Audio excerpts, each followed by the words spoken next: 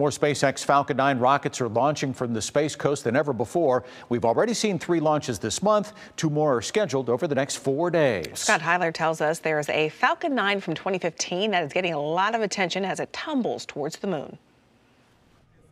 Back in 2015, Falcon 9 launches from the Kennedy Space Center were far more infrequent than they are today. There's one that sent a space weather satellite on a million mile journey, but part of the Falcon 9 rocket, the second stage, has been on a chaotic Earth Moon orbit for seven years. There wasn't enough fuel to bring it back to Earth. It's now on a collision course with the moon. Eric Berger is the senior space editor at Ars Technica. Um, fortunately, it's not really a threat because there's nothing on the far side of the moon really to strike.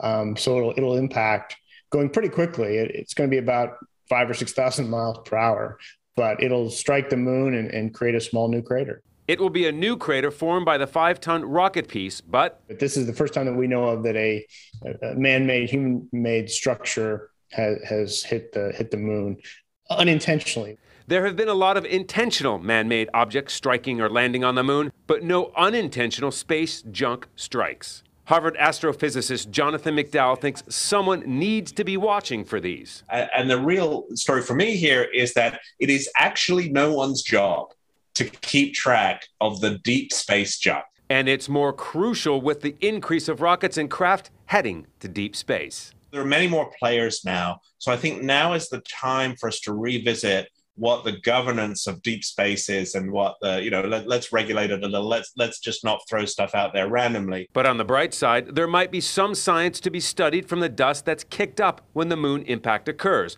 now estimated to be on march 4th in brevard county scott heidler WESH 2 news